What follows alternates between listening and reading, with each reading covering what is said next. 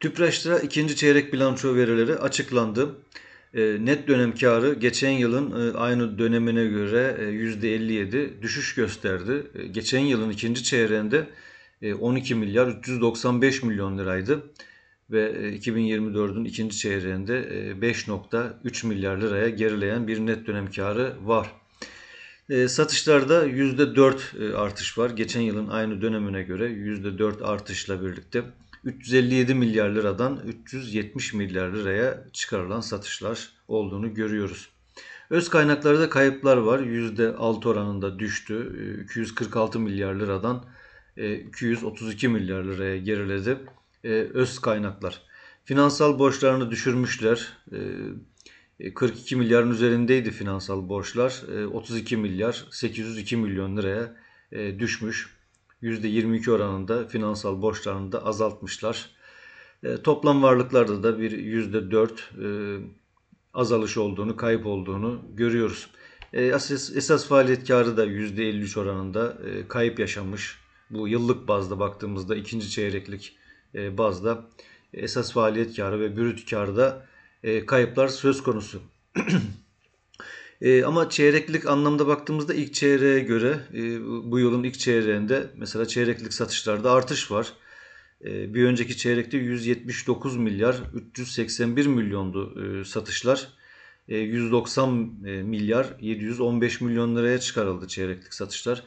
E, çeyreklik FAVÖK'te de artış var. E, 10.2 milyardan e, 12 milyar 800 milyon liraya FAVÖK e, yükselmiş. Faiz, amortisman, vergi öncesi kar e, yükselmiş. Toparlanma işaretleri var ikinci çeyrekte.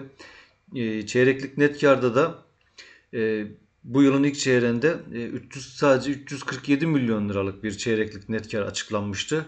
E, pozitif geldi çeyreklik net kar e, 5 milyar lira ya çıktı.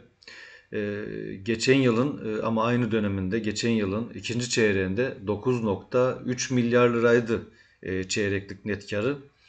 E, ama ilk çeyreğine nazaran bir toparlanma işareti olmuş. 5 e, milyar liralık güzel bir çeyreklik net kar e, geldi e, TÜPRAŞ'tan. Beklentilerin üzerinde e, ikinci çeyrek sonuçları e, iş yatırım tarafından. E, iş yatırım e, 4.2 milyar bekliyordu. E, piyasa 3.7 milyar beklerken 5 milyar liralık net kar rakamı e, açıklandı. E, beklentimizin üzerinde e, operasyonel karlılık, e, net kar tahminimizdeki sapmanın ana nedeni olarak e, öne çıkıyor diyor. E, hem bu daralan ağır hafif ham petrol fiyat e, markası e, olumsuz etkisi ve vergi giderlerindeki artış yıllık bazdaki düşüşlerde de etkili olduğunu belirtiyor. E, sonuç olarak baktığımızda sonuçlara yönelik e, önemli bir piyasa tepkisi beklemiyoruz. E, şirket yılın ilk yarısında yapılan brüt 20 milyar liralık temettü ödemesine ek olarak da 23 milyar liralık ikinci bir temettü ödemesi açıkladı. Dün zaten onun videosunu da paylaşmıştık. E, yani toplamda bu yıl 43 milyar liralık bir temettü dağıtacak iki taksit halinde ve e, bu ikinci temettüsü de hisse başına 11 lira 94 kuruş olarak yapacağını duyurdu. Temettü verimi dünkü kapanış fiyatına göre %7,8'e 8'e tekabül ediyor.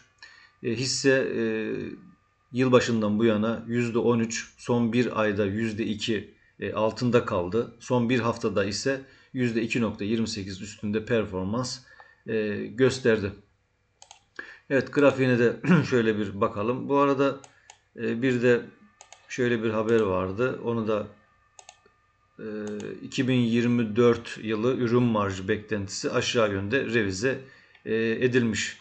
E, bu haberi de okursunuz isterseniz. Toplam üretim 26 e, milyon ton. Toplam satış 30 milyon ton. Değişiklik yok. Yatırımlar toplam ve yatırımlar beklentisi de 400 milyon dolar. Önceki 500 milyon dolarmış. Böyle kapa yapılan bir bildirim TÜPRAŞ tarafından. Evet bugün bugün biraz toparlandı. Dünkü düşüşün ardından e, hem temettü açıklaması da önemli oldu tabii ki. E, gördüğünüz gibi top hisse başına brüt 11 e, lira 94 kuruş, hisse başına net 10 lira 74 kuruş ikinci temettüsünü dağıtacak. 27 Eylül'de dağıtım gerçekleşecek. e, 26 Eylül'e kadar hisseyi elinizde bulundurmanız ya da almanız lazım. 26 Eylül'e kadar alacaksınız. 27 Eylül'de alamazsınız. Çünkü 27 Eylül'de temettü dağıtımı gerçekleşecek. Pay sahiplerinin e, alacağı temettüler gerçekleşecek. E, ardından da e, yani 1 Ekim'de 1 Ekim'de de hesaplarda olacak e, temettü ödemesi.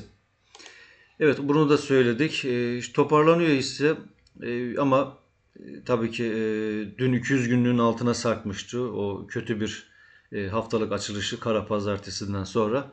Bugün toparlandı tekrar e, 159 e, direnci vardı. Onun üzerine attık. E, ama yukarılarda bizi 20 günlük, e, 50 günlük hareketli ortalamalar var. Buralara çıkmamız lazım tüp- tüpraşta yükseliş olabilmesi için. E, yani 163 lira, 168 lira seviyesi önemli. E, Buralara bir an önce çıkarsa ardından e, önemli direncimiz var 170. 170'i de kırdığımız zaman e, 176 lira direncini tüpraşta e, beklemiş olacağız arkadaşlar. E, Diyebileceklerimiz şimdilik bunlardı. Teşekkür ediyorum. Bütün tüpraş yatırımcılarına bol kazançlı günler.